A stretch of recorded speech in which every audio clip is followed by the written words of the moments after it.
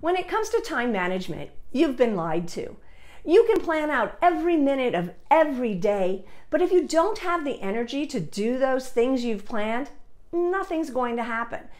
A car without gas just won't run, and neither will you. Hi, I'm Ellen Goodwin, a productivity consultant, and on Wednesday, July 27th at the NCET BizBite, I'll be sharing the keys to managing your energy not your time. In this fun, fast, interactive presentation, we'll dive into the energy drainers, the procrastination prohibitors, the distraction destroyers, and the ever popular dynamic focus boosters. So plan now to join me on Wednesday, July 27th at the NCET BizBite.